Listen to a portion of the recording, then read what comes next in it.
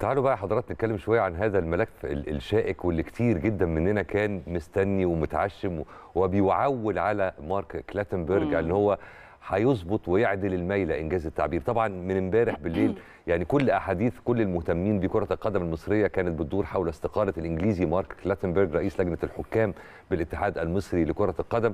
النهارده اتحاد الكورة هيعمل اجتماع طارئ للبت في أمر هذه الاستقالة. آه، لكن كمان كان في بيان رسمي امبارح لاتحاد الكورة أكد من خلاله على ثقته في لجنة الحكام اللي هتستمر في عملها بشكل طبيعي جدا. آه، بقيادة الأستاذ محمد فاروق نائب رئيس اللجنة طبعا هيكون قائما بأعمال رئيس اللجنة يعني هيتولى تعيينات الحكام في الفترة المقبلة وبشكل مؤقت ويباشر جميع مهام كلاتنبرج. طبعا آه، بالمناسبة المدة اللي قضاها كلاتنبرج في رئاسة هذه اللجنة لم تتعدى 172 يوم يعني ابتدى من يوم 5 أغسطس الماضي 172 يوم. فمن زاوية معينة لرؤية الأمور ممكن يتقال إن الراجل ما استحملش كمية ال- ال- ال- ال- العبث اللي هو شافه. من زاوية تانية و- و- زي عارفة بيقول لك شر البلية وما يضحك أو هم يضحك وهم يبكي. زي ما حصل في مسرحية مدرسة المشاغبين فاكرة المشهد بتاع سعيد صالح تقريبا كان بيتكلموا على رابسو ده اللي هينظف المنطقة التعليمية. ناس كتير قوي كانت باصة لكلاتنبرج نفس البصة دي وكان عندهم آمال عريضة إن الأحوال هتنصلح لكن لم تنصلح الأحوال ولم يستمر كلاتنبرج في موقعه. فيا ترى إيه اللي هيحصل بقى في الملف ده شوف. الفترة الجاية؟ نيجي بقى لكلاتنبرج. يلا. اللي أنا عمالة أتلخبط في اسمه من أول الحلقة. شوف يا كريم سريعا برضو. آه رقم واحد. هذا الرجل لو حد هيتحدث هل هو كفء أم لا؟ هل لديه من الخبرات أم لا؟ لا هو لديه من الخبرات ما يكفي أو ما يكفي. هو كان يعني شارك في تحكيم اتكلم عن كأس العالم آه، دوري أبطال أوروبا الدوري الإنجليزي بص في كل حاجة كان له بصمة. بلس إن هو كان بيشتغل في ملف التحكيم ده وراح وكان له بصمات عظيمة وقلنا آخرها كان في اليونان وعمل نقلة نوعية في هذا الملف الملف التحكيمي في دول عديدة. لما جه مصر جه بسي في محترم جدا. وناس كتير وحضراتكم ياما إحنا اتكلمنا هنا في قناة الأهلي مش بس في 10 الصبح في الأهلي وعرضنا السي في بتاع الراجل وإيه اللي هو جاي على أساسه وإيه الانتقادات اللي هي كمان وجهت ليه.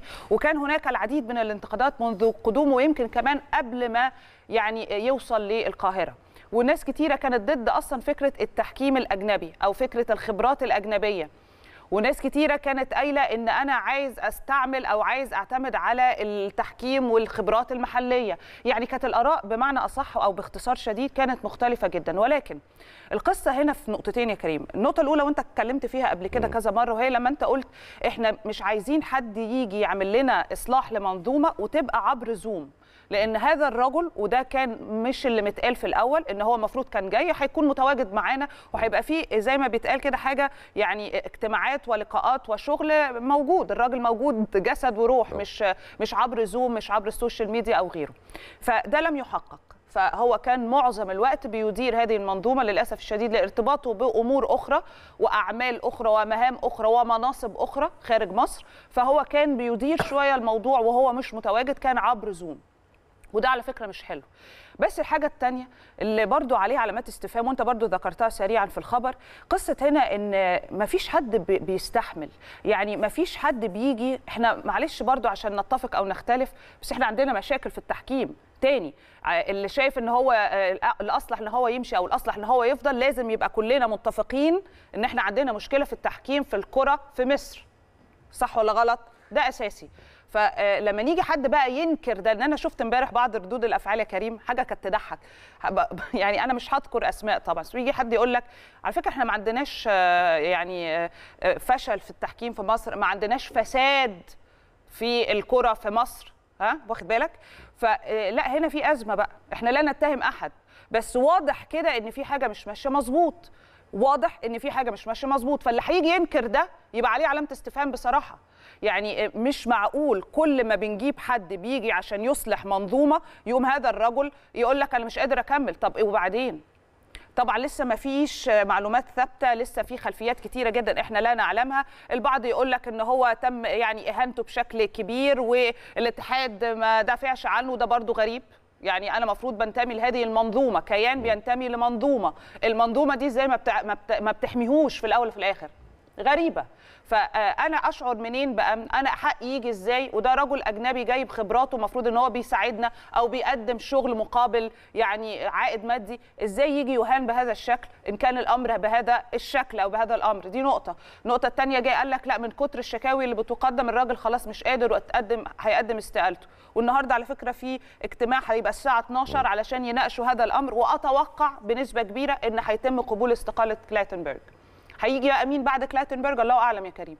هيبقى في خبرة أجنبية أخرى الله أعلم. بس مفروض بس هل الخبرة الأجنبية الأخرى وده السؤال هيبقى أفضل من كلاتنبرج في إيه؟ وهل هيتم مهاجمته بنفس الطريقة ولا لأ؟ وهل هيتم الخوض في يعني مش هقول أعراض ولكن إهانته بهذا الشكل مرة تانية ولا لأ؟ وهل اتحاد الكرة والقائمين على الكرة المصرية هيدافعوا عن أي حد بيهان بهذا الشكل برضه ولا لأ؟